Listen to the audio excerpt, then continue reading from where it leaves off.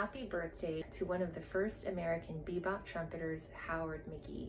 I wanted to do a short biographical video on his life so you can fully appreciate the historical context and the story of who he was.